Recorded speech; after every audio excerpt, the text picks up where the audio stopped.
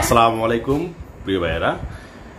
সিঙ্গাপুরে আমরা ইতিমধ্যে জেনেছি যে সিঙ্গাপুরে ভ্যাকসিনেটেড ট্রাভেল চালু করতেছে।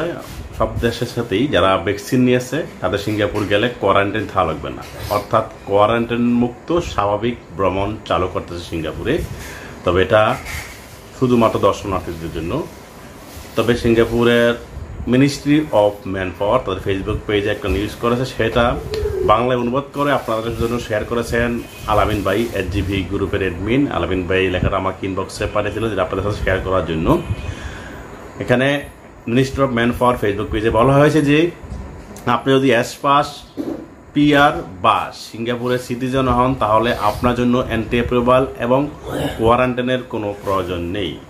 আপনি যদি ছুটিতে বাড়িতে এসে থাকেন, আপনার যদি ওয়ার্ক পারমিট ভ্যালিড থাকে আপনি যদি সম্পূর্ণ ভ্যাকসিনেটেড হন, তাহলে আপনারও অ্যান্টি অ্যাপ্রুভাল এবং কোয়ারেন্টাইন থাকা লাগবে না। আপনি যদি একজন ওয়ার্ক পারমিট হোল্ডার হিসাবে নতুন আইপিএ ভিসা নিয়ে সিঙ্গাপুরে যান, তাহলে আপনার অ্যান্টি অ্যাপ্রুভাল আবেদন করতে হবে এবং আপনাকে কোয়ারেন্টাইন থাকতে হবে চার দিনের জন্য। এটা এমন ওয়েবসাইট থেকে নিছি আমি। সম্পূর্ণ ভ্যাকসিনেটেড কারা?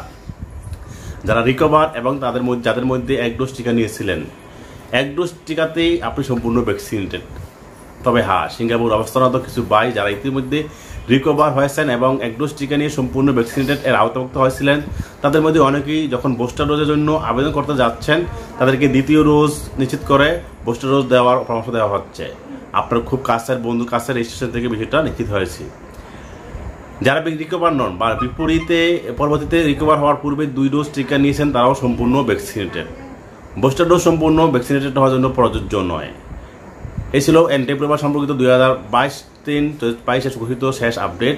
সময় পরিস্থিতির উপর নির্ভর করে যে কোনো নিয়ম, যে কোনো সময় পরিবর্তন হতে পারে। এটা আলামিন ভাই আমাদের সাথে শেয়ার করছেন। তবে এমআমের ওয়েবসাইটে গিয়ে আমি দেখলাম সেখানে যে যারা আইপিএ হোল্ডার সিঙ্গাপুরে যাবে, তাদেরকে সিঙ্গাপুরে গেলে চার দিনের জন্য মাইগ্রেন্ট ওয়ার্কার অনবোর্ডিং সেন্টারে থাকতে হবে। তো এই চার দিন থাকাকালীন সময় আপনাদের হয়তো বা করোনাটি বিভিন্ন কিছু করা হবে, হয়তো মেডিকেল চেক আপ করা হবে, অন্যান্য কর্ম করা হবে। আশা করি আপনারা যারা এতক্ষণ কনফিউশনে ছিলেন, তারা আপনাদের কাছে জিনিসটা বিষয়টা ক্লিয়ার হয়েছে এবং আপনারা কারা? কাদের অ্যান্টি অ্যাপ্রুভাল লাগবে, কাদের অ্যান্টি অ্যাপ্রুভাল লাগবে না। যদি আপনি নতুন চান সিঙ্গাপুরে আইপিএ নিয়ে, অবশ্যই আপনার অ্যান্টি অ্যাপ্রুভালটা লাগবে এবং আশা করি এখন অ্যান্টি অ্যাপ্রুভালটাও একটু সহজ হবে। যারা ছুটিতে এসেছিলেন, তাদের জন্য জিনিসটা সহজ হলো যে তারা ওয়ার্ক পারমিট হোল্ডার, তাদের অ্যান্টি অ্যাপ্রুভাল লাগবে না কোয়ারেন্টাইন থাকা লাগবে না।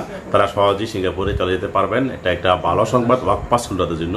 তবে আইপি হোল্ডারদের জন্য একটু সমস্যা হয়ে গেল এখনও যে আইপি হোল্ডার যারা তাদেরকে এখনও অ্যান্টি অ্যাপ্রুভালটা লাগবে? আশা করি মিস্টার আলামিন ভাইয়ের দেওয়া ততটা আপনাদের কাজে লাগবে। সকলে ভালো থাকবেন, সুস্থ থাকবেন। আল্লাহ হাফেজ।